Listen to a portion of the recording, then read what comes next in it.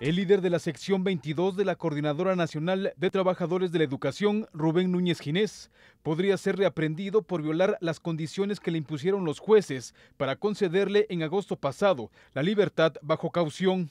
Luego de que el dirigente recibió la orden de no participar en actos públicos o sostener encuentros con la prensa, cuestiones que incumplió.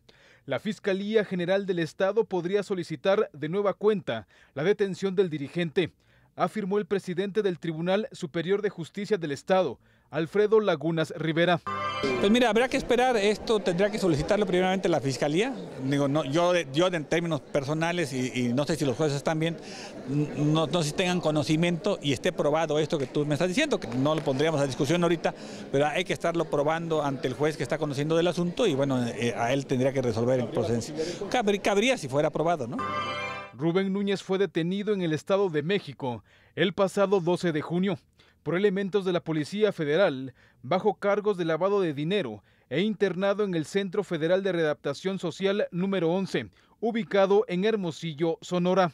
Días después, le fueron fincados cargos del fuero común por tentativa de homicidio y daños. Finalmente, en agosto pasado, luego de ser trasladado a la ciudad de Oaxaca, el aún secretario general del Magisterio fue dejado en libertad tras pagar una fianza y comprometerse a no aparecer en actos públicos, en lo que finaliza el juicio comenzado en su contra.